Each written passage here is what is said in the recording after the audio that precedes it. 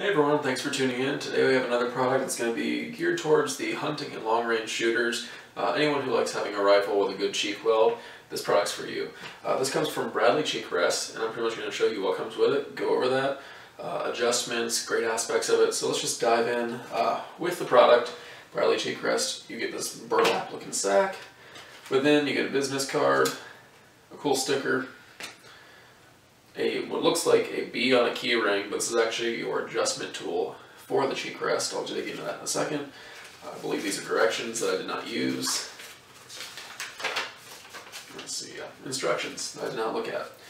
And then two extra Velcro pieces, which are very important for the adjustment of this cheek rest. So as I said, here's your adjustment tool, and on the sides you're going to have two screws uh, you could use a flathead as well, but not many people want to take a flathead screwdriver out to the field with them. If you do, you have it. If not, nice little piece of gear that's just going to be with you. It's nothing, doesn't weigh anything, it doesn't matter. So you can use this to adjust it. We'll go over that in a second. But let's go over the details of this. So I have it on my Savage Hog Hunter right here. And when I first got this rifle, I was considering completely buying a new stock. Um, I hate this plastic stock, the synthetic plastic looking stock on it. Very flimsy. I can deal with it for now. Uh, my main issue was getting a cheek weld with my Vortex scope right here. Now, that poses an issue. If you've done long range shooting before, you know that you just want to have your good cheek weld there. You don't want to put any strain on your neck, keeping your head up in line with the scope to have a clear sight. Now, instead of buying a very expensive stock or chassis system that has an adjustable cheek uh, rest, you can get a better cheek weld or anything you need, you have this. And there's cheap options where you can duct tape foam to your gun. I've seen that many times. Uh, I've seen people just like put little pillows there or a shirt or something. I don't like that as much. Not as reliable. It's cheap, but it does work in a pinch. Uh, your stock, as I just mentioned, buying a whole new stock or chassis system, very expensive at times. Uh, I've seen some get up to $1,200. It's pretty expensive. Cheek Rest from Bradley Cheek Rest gives you that good cheek weld you need for hunting, shooting, whatever you're going to be doing at a good medium price right there. So, zoom in the picture. You can adjust it. Uh, this one I took back down. I had it one step higher to get my eye in line with the scope. But this thing is very rugged. I've been shooting with it for about a month now. I just want to put it through the ringer and see how well it works.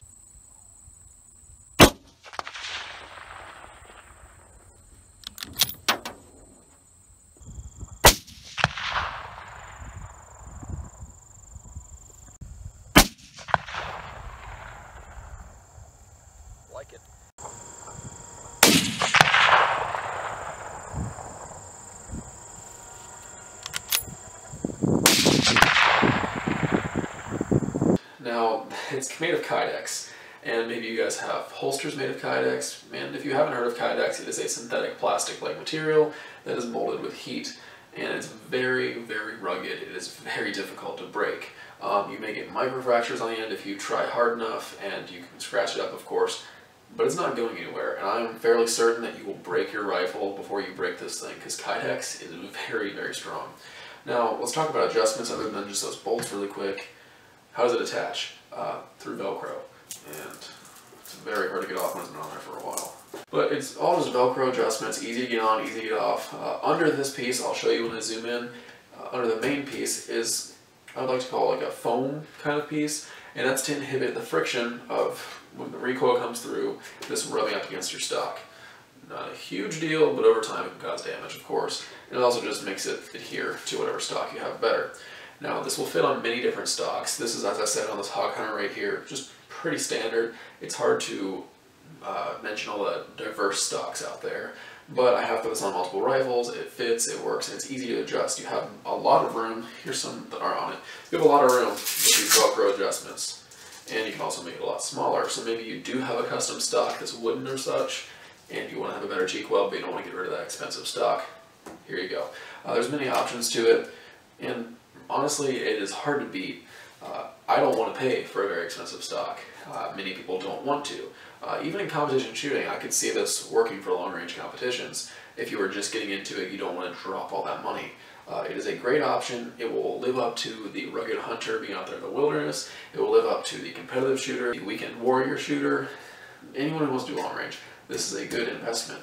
And as I said, rugged, good investment instead of buying stock. What more can you want out of it? Um, and it'll fit many, many rifles. So it has its advantages. It's uh, very well priced for what it is. I love the Kydex material. That is not going to ever let you down. I can surely say that. Uh, so let's go into adjustment really quick. We'll get a close up for you so it makes more sense. All right, bringing you guys in a little bit closer here. Before I dig into this, I do want to show you, I was a little bit far away in the beginning of the video. Here's the Velcro straps that come with it. Here are your directions. Feel free, if it'll focus, to pause the video and read that, but they're pretty self-explanatory. Your cool American, proud to be an American sticker with a little bit of profanity. Business card. Your tool, it's actually shaped in a B for Bradley cheek rests. Pretty cool. Very lightweight. and a bag that it all comes in. So getting that all out of the way here, you can see here are the screws.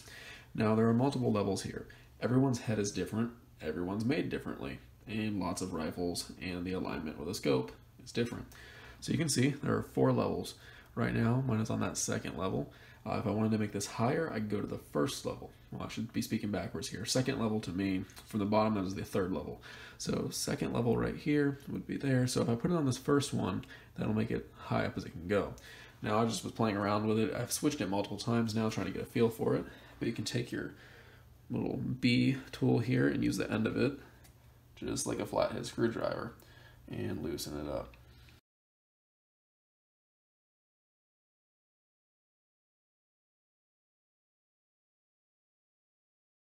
So now all four of those screws are out. Don't lose those. You can just take this off now. You can see it's just a shell. It just goes right over the actual rest here. And here are, it looks like washers that keep it spaced out to keep pressure off of this. So you get a little bit, I guess you want to say wiggle room. It is a tiny bit pliable. Um, as I said, if you guys have experience with Kydex, it has a little bit of uh, movement to it, but nothing that can inhibit problems. This is actually good if it gets hit pretty hard. Nothing will happen. So you can see here, we have these, and on the opposite side, the same exact thing. They're just little spacers.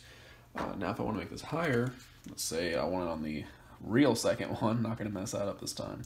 Just position it and simply thread these with your hand first just to make sure you don't mess anything up. I do want to mention you guys should probably not try to torque these down really hard because that is where you get into stripping things and we really don't want that. This is metal on a plastic I body, I guess, and you really don't want to strip out these small uh, bolts here. Not good. It's either never going to come off then, or you're just going to have spinning bolts and it'll be very loose. Never a good idea. So I'm going to move on to the next side, and I'll be right back. We got this adjusted to show you how that works. There is much more of a gap there. We are now on the second row up from the bottom, and this gets your head in line, or your eye, sorry, in line with uh, the scope, having a proper cheek weld. And as I said, everyone's head is different. Maybe you're out with your buddy. It may be a good idea to strap this on your bag or something. It weighs nothing.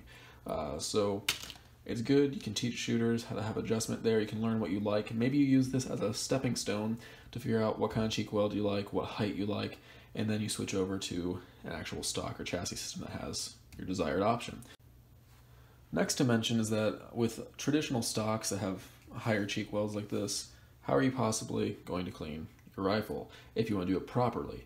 You need to be, you don't want to take a cleaning uh, cleaning rag and go from the bore back here. Not a good idea. So what you do, so generally you take your bolt out, right? And you take a cleaning rod and just shove it all the way through there to clean.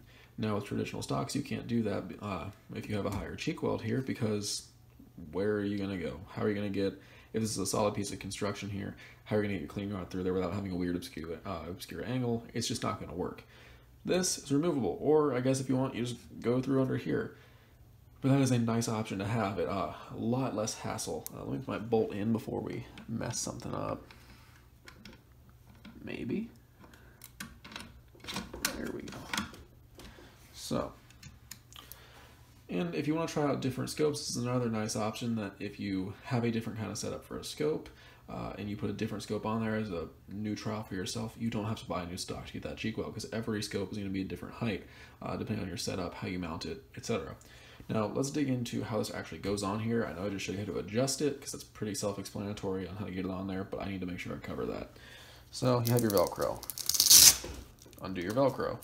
Uh, we'll do this in reverse, then put it right back on. Should be pretty self-explanatory. So that one's loose now. Our next one, maybe.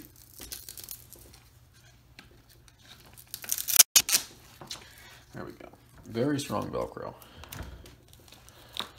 Take this out of the loop. You can see these are both loose now. Let me take the sling off. Eh, should be okay. You can see this is going to pull back now, like so. I showed earlier, or I mentioned, here's that foam piece that sits under your cheek rest, your Bradley cheek rest. This is very nice. Uh, it does keep that friction off of this uh, synthetic material, especially because the mold is right here. I feel like that would get worn out really quick. Uh, as I said, I don't like the stock, but I do want to keep it in good condition. So we put that on there first. You can see the inside of this molds directly to that. I'm actually going to put it on here. Makes it a little bit easier. Put it inside. Make sure you have it where you want it. Simply slip it over your stock. I know it's that difficult. And then when you find the desired position you want forward to back, you scoot this over a little bit so you can see it.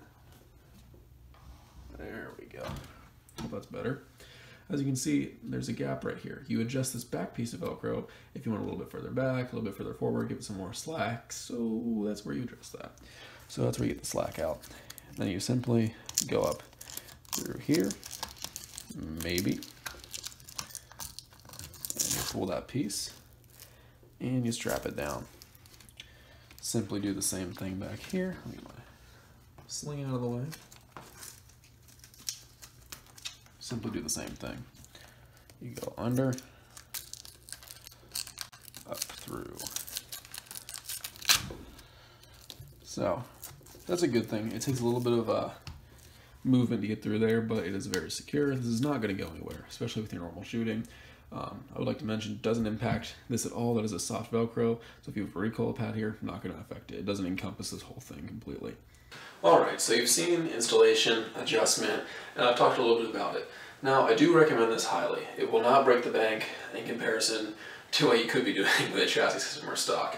Uh, it's weather resistant, it's going to last probably longer than you and your rifle. Um, even if you put this thing through some rough abuse, it's that Kydex material. I've had lots of experience with Kydex, many others have too. So you know it's going to last. Uh, it doesn't really have any negative aspects. Uh, they do have plenty of colors, anything to match your rifle. I know this one is black, they probably have one to match this. Uh, contact the guys. I mean, they are a smaller business, but they have very good customer service. I've chatted with them on Instagram, uh, through some direct messages, talked to them on the phone, emails. They're eager to reach back with you. So, I'm sure they want to hear the feedback. So multiple colors, that's a great option. Uh, option of versatility with adjustments. Uh, maybe you're not the only one shooting the rifle, so you have the adjustments, you can uh, use it for many people. Is a great product. Now I do want to mention, uh, one thing that's going to happen with any material that you put on here is you need to be wary of if you're out in the weather and it does get wet. Uh, they recommend it as well. Take this off, let it dry out a bit. It's not going to do anything to the Kydex uh, necessarily. Maybe could rust these bolts, but they do have a coating on them. Uh, but just, you don't want to have that water or any material really sitting under here on your stock for a long period of time. Uh, while this is chemical resistant, this is water resistant, you don't know about whatever stock's going to be on there. Maybe it's a wooden stock. Chemicals don't do so well on some cheaper wooden stocks. Uh, so just be careful about that. Uh, it's not anything to do with this, it's just any application of whatever you put on a stock is going to do that. Okay, now that I've shown you guys the product and I can get rid of the sticker, this is what we're going to do. This is my uh, Condition 1 case, or Condition 1 case's rifle case. Uh, usually this is what the uh, Savage Hog Hunter I just showed you with the cheek rest goes in, or uh, many of my other rifles. Oh, this is a hard decision. But now we're going to rep some Bradley cheek rest swag here. Love going to the range and showing off these stickers too, because people ask about them. That's what's important.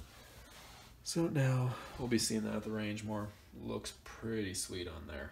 So go check them out. I highly recommend it. It helped me with my long range shooting. I haven't been into the aspect of long range shooting for the longest period of time, but as I got into it, I noticed this dramatically helped, uh, especially getting your line of sight perfect with that scope. So highly recommended. Go check them out. I will link them in the description below. We've been posting about them on Instagram for a while. So make sure to go look at those content pictures. Uh, there's some short videos on there. I'm going to put some short videos intertwined through this video that you've probably seen already. So make sure to check them out. Hit that subscribe button, like the video, share, and check out um, our other social media outlets. And we can keep showing cool products like this and help all of you find what you like.